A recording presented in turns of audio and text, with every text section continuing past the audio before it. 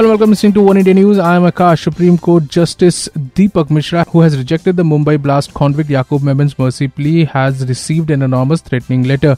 Delhi police have registered a case in this regard and have started investigation. Delhi police has also beefed up the security of Justice Dipak Misra. Three-judge bench of the Supreme Court had unanimously rejected Yakub Memon's petition seeking stay on his execution, putting an end to the last gasp efforts to help the 1993 Mumbai serial blast convict escape the gallows on his 54th birthday. Issuance of death warrant by the Tada court against Yakub on July on April 30th and scheduling his execution on July 30 is in order. A bench of Justices Dipak Misra, PC Pant, and Amitava Roy said just a day after Justice Kurian Joseph an activism of a small group seemed to have opened a window of hope for Yakub, who has been found guilty of complicity in the terrorist violence that claimed 257 lives.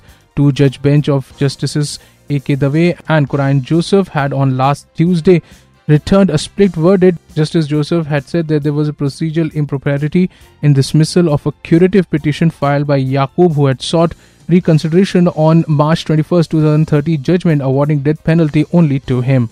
Well, that's all for now, but for more news and updates, log on to our YouTube channel www.youtube.com slash oneindianews.